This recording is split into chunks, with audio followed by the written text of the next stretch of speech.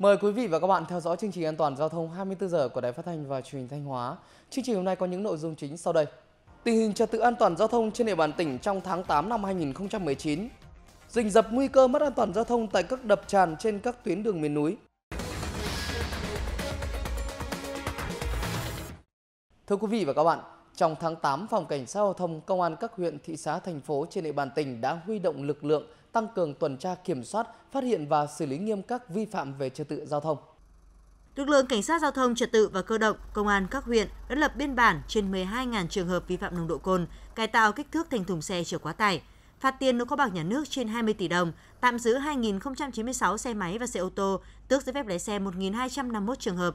Trong tháng 8 đã xảy ra 12 vụ va chạm giao thông, làm 14 người bị thương nhẹ và xảy ra 8 vụ tai nạn giao thông, làm 8 người chết và 4 người khác bị thương.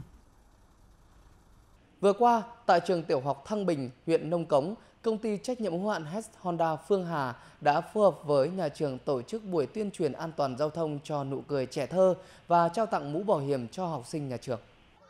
Thông qua các trò chơi hỏi đáp các kiến thức, các tình huống thử tài trí nhớ, những em học sinh trường tiểu học Thăng Bình đã được hướng dẫn viên của công ty Hess Honda Phương Hà tuyên truyền hướng dẫn luật giao thông đường bộ, đội mũ bảo hiểm đúng quy định, kỹ năng ngồi xe máy, xe đạp đúng tư thế, cách đi xe đạp sang đường an toàn. Tại buổi tuyên truyền, đại diện hết Honda Phương Hà đã trao tặng 135 mũ bảo hiểm cho học sinh khối 1 thuộc trường tiểu học Thăng Bình, huyện Nông Cống.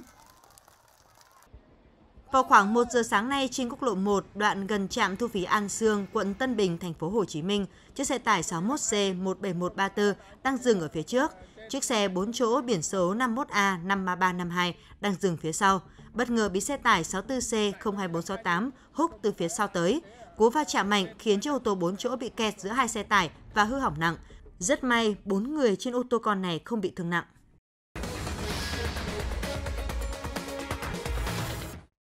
Thưa quý vị và các bạn, chiều ngày 20 tháng 8, mặc dù nước lũ đang dâng cao nhưng một người dân xã Phú Nhuận, huyện Như Thanh vẫn cố tình lưu thông qua tràn thôn Phú Quang, xã Phú Nhuận nên đã bị nước cuốn đi. Vụ tai nạn trên lại một lần nữa gióng lên hồi chuông cảnh báo nguy cơ mất an toàn giao thông tại các đập tràn trên các tuyến đường miền núi hiện nay. Tràn Lăng Luông xã thiết kế huyện Bá Thước nằm trên quốc lộ 15C. Mùa mưa năm nào, nước cũng dâng hơn từ 40 đến 50 cm so với mặt tràn. Thậm chí, có thời điểm nước cao trên 1 mét, nước chảy xiết gây tắc đường. Tuy nhiên, rất nhiều người tham gia giao thông không ý thức được nguy cơ mất an toàn giao thông, vẫn dùng bè mảng để kéo đẩy các phương tiện qua lại. Tương tự tại huyện Lang Chánh đang có khoảng 30 đập tràn nằm rải rác trên các tuyến tỉnh lộ và đường liên huyện liên xã. Hàng năm mỗi khi mưa lũ, huyện đã yêu cầu chính quyền các xã có đập tràn cử lực lượng công an xã và dân quân tự vệ trực chốt tại đập tràn, nghiêm cấm phương tiện và người dân qua lại.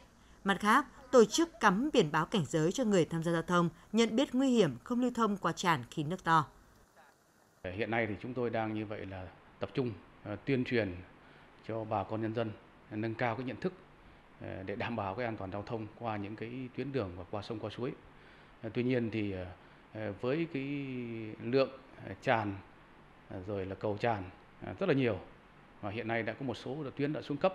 Chúng tôi mong muốn là ban an toàn giao thông tỉnh quan tâm để như vậy là giả soát, bổ sung kinh phí để cho huyện nâng cấp sửa chữa Thanh Hóa hiện có 11 huyện miền núi với địa hình chia cắt nhiều sông suối, nên ngoài nhiệm vụ phục vụ tiêu thoát nước, thì các tràn còn là đường giao thông phục vụ đi lại của người dân.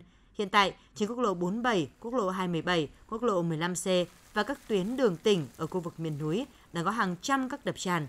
Mùa mưa lũ, nước dâng cao và chảy xiết. Chính vì vậy, đây là những khu vực khá nguy hiểm cho người và phương tiện tham gia giao thông.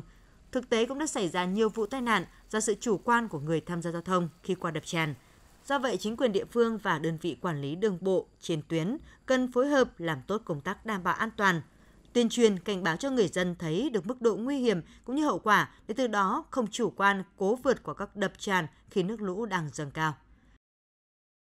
Quý vị và các bạn vừa theo dõi chương trình an toàn giao thông 24 giờ. Xin kính chào tạm biệt và hẹn gặp lại.